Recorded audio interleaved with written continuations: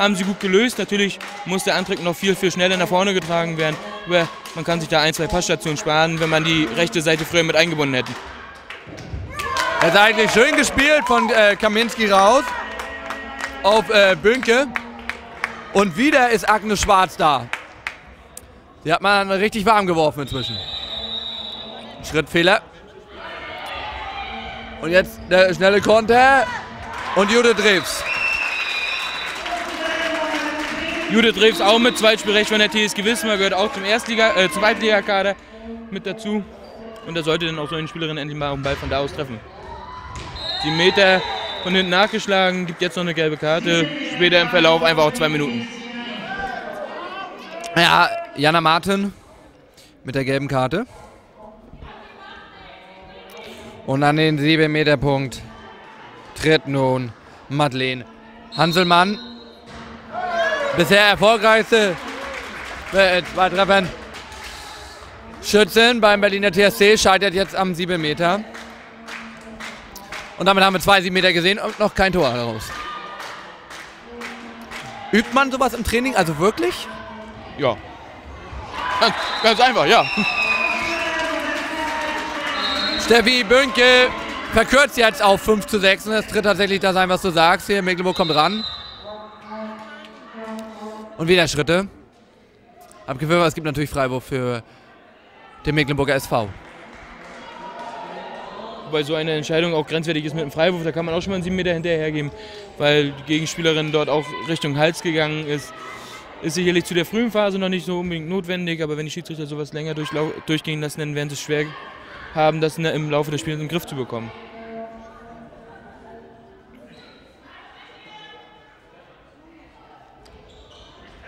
Äh, sieht man da, die, wie Kaminski die Spielerin richtig rausdrückt. Helena Klaus.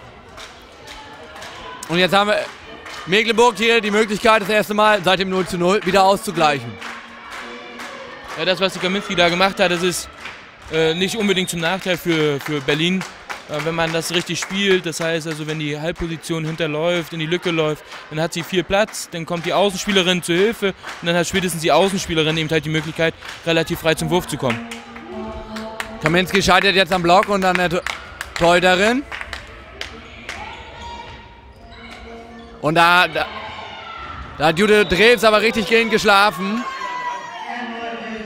Gegen Lena Klaus. Und das führt zum 7 Meter für den Berliner TSC. Ja, da haben sie wirklich eine Abwehr. Den, man hat sich ja relativ lange Zeit gelassen, den Ball nach vorne zu tragen. Die Spielerin hat hinten erst geguckt, ob vorne jemand frei ist, hat den ersten Pass gespielt, die andere hat dann die freie Spielerin gesucht und auch gefunden und hat dann den Ball nach vorne gespielt. Aber sowas muss natürlich vernünftig verteidigt werden. Jetzt haben wir auch den ersten 7 Meter drin. Torschützin Nummer 18. Theresa Loll. 7 zu 5 für den Berliner TSC.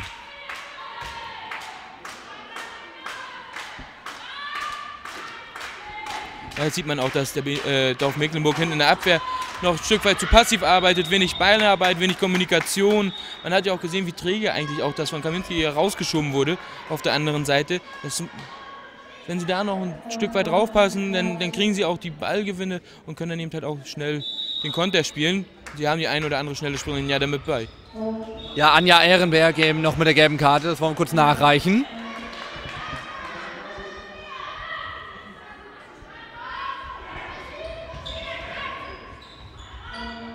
Jetzt rücken gut raus, jetzt die Berlinerinnen auf die Halbpositionen.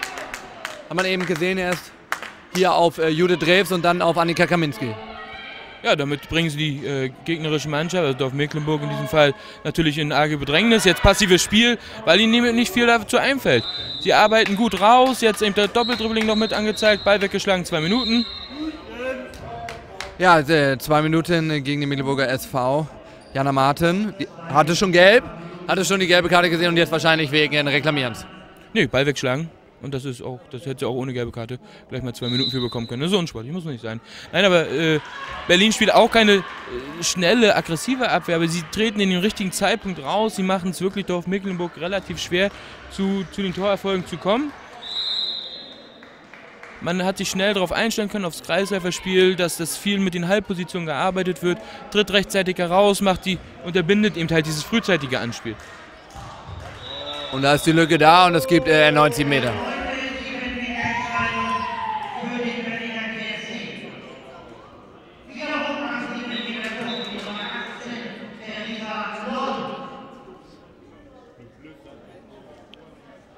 Zeit ist angehalten. Weil eben Theresa Loll extra für diesen 7 Meter jetzt aufs Feld kommt, ähnlich wie bei dir an der Linke, äh, direkt zum 7 Meter. Und auch hier erfolgreich. Ja, ist aber so, dass ja die Schiedsrichter nicht zwingend da bei der, bei der Auswechslung die Zeit anhalten müssen. Ist jetzt aber so, dass der Ball relativ weit noch weg lag, also die sich den auch noch erst holen musste. Ähm, Schiedsrichter sind dazu angehalten, bei der Auswechslung des Torhüters die Zeit anzuhalten. Beim Feldspieler nicht zwingend. Jetzt haben sie es das zweite Mal gemacht. Ich denke, das werden sie auch beibehalten. Auch hier jetzt, wie man sieht, hinten klare Zuordnung für den Kreisläufer, richtiges Reinarbeiten. Jetzt reibt sich auch so langsam auf. Unsere Mitspielerinnen, also die Grün-Weißen, haben ja auch gesagt, dass sie auch versucht, nicklig zu arbeiten. Es gefällt mir momentan gut, wie die Kreisläuferarbeit da beim Berliner TSC gearbeitet wird, wie das verhindert wird. Man sieht auch da das rechtzeitig raustreten der Nummer 9. Und jetzt gibt es trotzdem den 7 Meter und die gelbe Karte äh, gegen Lena Klaus.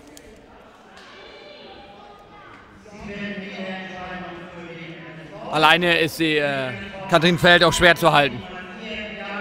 Ja, muss die Abwehr noch ein bisschen früher anfangen, dann wird sie auch nicht reingedrückt in den Kreis. Und da ergibt sich dann auch nicht die Möglichkeit. Dann gibt es einen Freiwurf und dann ist gut. Jana Duschauer jetzt hier mit dem 6 zu 8. Ja, das war der zweite 7 äh, Meter für den Mecklenburger SV und dann äh, haben sie auch ihr 7 Meter Tor. Und jetzt etwas hastig abgeschlossen bei den Berlinerinnen. Und damit wieder Ballbesitz für den Mecklenburger SV. Ja, sie waren noch ein Überzahlverhältnis. Ähm, eigentlich unnötig, zu früh abzuschließen. Dann sucht man äh, auch die 10, 15 Sekunden, die sie noch in Überzahl spielen, auch wenn es nachher Gleichzahl ist, einfach auszuspielen, das Spielfeld breit zu halten und nicht eben halt jetzt über die Mitte abzuschließen. So. So, so wie sie es jetzt machen. Ich wollte aber auf was anderes hinaus. Ich freue mich jetzt, dass die Nummer 14, Julia Lemke, beim Berliner TSC kommt. Ähm, Spitznamen auch Pumba genannt. Bekannte von uns, auch in Schwerin eben halt bei einigen Leuten mitbekannt. Freut mich. Ja, dann äh, können wir ja mal drauf schauen, wie sie sich macht in diesem Spiel. Momentan läuft ja gut für ihre Mannschaft. Sie führen hier mit 8 zu 6.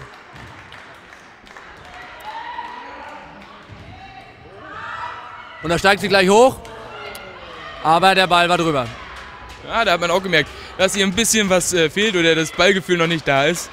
Abwehr-Angriffwechsel wird da gemacht. Also sie hat letzte, letzte, letztes Jahr, letzte Saison noch angefangen in der ersten Mannschaft zu spielen.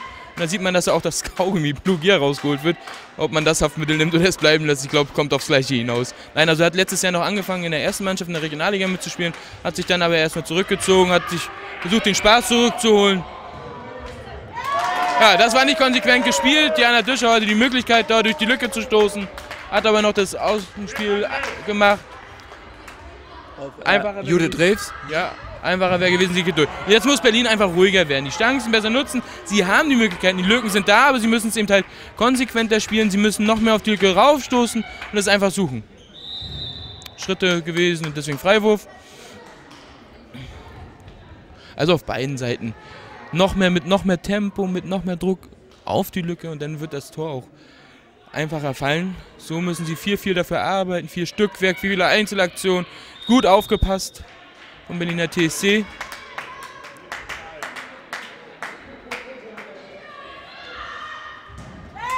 Und Kaminski scheitert erneut an Agnes Schwarz. Ja, der glaubt, der hat sie auch zu langsam den Zahn gezogen. Mit den, also, ich weiß nicht, sie hat jetzt ein oder zwei Tore gemacht. Äh, Janika Kaminski mit äh, zwei Treffern. Einmal den aus dem Stand und einem Sprungwurf.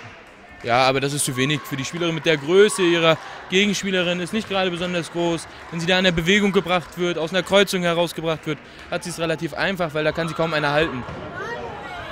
Und auch der wieder zu schnell abgeschlossen.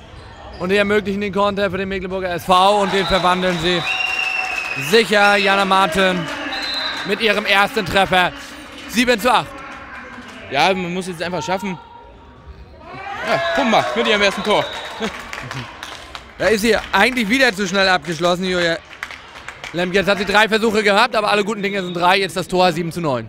Naja, die Lücke war ja da und hat jetzt auch nach unten geworfen. Man hat jetzt eben halt gesehen, dass alle Bälle, die geworfen wurden, immer drüber geworfen werden. Dann muss man einfach mal das Wurfbild ein bisschen ändern, auf es schwer ist, über den Innenblock da zu kommen. Dann muss man die Bälle nach unten ziehen, dann muss man eben halt die Kreuzung für die Halbposition nach außen hinweg spielen, dass einfach da der Abschluss gesucht werden kann. Ja, und jetzt haben wir wieder gut gesehen, das Rausrücken äh, der Berlinerinnen, in dem Fall von Anja Ehrenberg, gegen Annika Kaminski, denn das äh, Kreisanspiel äh, kam dann nicht mehr an bei Katrin Feld. Und jetzt hat sie aber die Lücke und jetzt in die lange Ecke. Annika Kaminski zum 8 zu 9. Ja, Dorf Mecklenburg versucht jetzt mit zwei Kreisläufern zu arbeiten, wobei das äh, relativ schwer ist. Sie ist ja keine reine offensive Deckungsweise, dass sie jetzt 3-2-1, 4-2 decken. Ähm, drücken immer daraus auf die andere Halbposition, dass die Anspielstation wegfällt. Da aber eben halt nimmt man sich trotzdem eine Anspielstation, die Mittelposition ist weg. Ähm, so versucht man oder baut man sich selber einen hohen Druck auf, schnell zum, zum Abschluss zu kommen oder ein Anspiel zu suchen. Jetzt sehen wir es hier einfach auch, hier wird eine Kreuzung gespielt, Bewegung, Pass, Parallelpass wäre vielleicht noch besser gewesen zum Halbrechten. Dadurch ist ihm halt die Bewegung jetzt ein bisschen abgebrochen gewesen. Nein, aber hinten, man muss einfach auch immer mal wieder mit dem Einläufer arbeiten. Schön wieder, zweite Tor zum 8 zu 10. Julia Lemke. Ja, das war lieber schön gemacht, hochgestiegen und da stand sie höher als alle anderen und legt ihn dann oben rechts in den Giebel. Also viel besser kann man ihn dann nicht mehr werfen. Ja, vielleicht nochmal einen Dreher mit einbauen. Ja, das ist dann wahrscheinlich eher was äh, für später. Erstmal, so sagt man noch als Trainer, erstmal die äh, durchziehen, erstmal die richtigen Würfel. Auszeit von Holger Damjonak genommen jetzt. Ich denke auch der richtige Zeitpunkt. Berlin kam jetzt eben halt besser ins Spiel mit zwei, drei Rückraumtoren jetzt auch. Jetzt ist wichtig, dass sie sich im Angriff selber vorne wiederfinden, dass sie eben halt nicht nur mit 4-2 spielen, sondern dass sie eben halt auch mal Bewegung ins Spiel mit reinbringen, eine Kreuzung mit einbauen. Einfaches Spiel, ganz einfaches Spiel. Hinten die Abwehr arbeitet gut von Berliner TC und auf der anderen Seite muss die andere Abwehr eben halt nochmal ein bisschen aktiver werden. Früher heraustreten. Und wichtig ist jetzt aber auch eben halt bei den Rückraumschützen von Berlin auch mal das Wurfbild zu ändern. Jetzt haben sie zweimal lang geworfen. Gute Torhüter stellen sich darauf ein. Wir werden es mal ein bisschen beobachten, mal auch einen kurzen Ball mit einzustreuen oder eben halt auch mal ein Anspiel zum Kreis durchzukommen lassen. Ja, wollen wir mal schauen. Wenn wir mal so ein bisschen vergleichen jetzt die äh, Auszeiten. Wir, haben sehen, wir sehen, und die Zuschauer sehen jetzt den, den Mecklenburger SV. Das wirkt ein wenig, ein klein bisschen konfus, nicht wirklich richtig, aber ein klein bisschen konfus. Auf der anderen Seite haben wir einen richtig konkreten Kreis. Der Trainer, wie ein kleiner Diktator, wie ich das immer sage, wenn du in einem Kreis stehst. Ähm, und hat auf seine äh, Mädchen eingeredet und da wirkt es doch ein bisschen äh, konfusreicher. Na, jeder Trainer führt seine Auszeit unterschiedlich, lässt auch mal